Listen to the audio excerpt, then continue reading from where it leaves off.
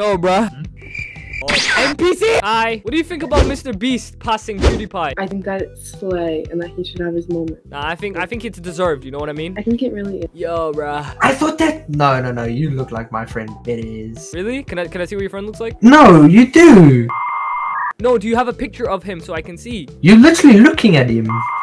What do you think about Mr. Beast passing PewDiePie? Loki, Loki. I don't know. Hey, like it. I feel like it's fine. Yeah, but yeah, like, yeah. But like PewDiePie's like such an icon. You know what I mean? It's it's like a history book. All Yeah, yeah. yeah, yeah. I feel like- PewDiePie was PewDiePie was like the best thing that happened. Now Mr. Beast is Clear, bro. self-explanatory. Self. And you know the maddest Yeah. thing is? I'm pretty sure he's What? got like a disease or something. Made you think that I would always stay. Is that your like or a ghost? Nico, can you hear me? What do you think about Mr. Beast passing PewDiePie? I think to... Mr. Beast is a f***ing. Huh? Why? The I don't guy like gives Mr. out, Beast. the guy gives out so much to people. Things that I never say. Yeah, only for views, only for more money, Yeah, but which he then invests for more things for people. and then makes more off of it for his own profit. But most of it goes to people. Not most of it, promise you that.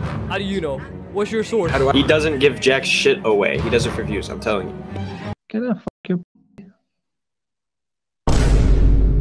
fuck ba ba ba ba ba ba. Why are you guys holding? Hey, relax. Yo, whoa, whoa. You know who Mr. Beast and PewDiePie are? Yeah, Uh, what do you, What do you think about him, Mr. Beast, passing PewDiePie at 100 million subs? deserves it because I mean PewDiePie doesn't really good content anymore.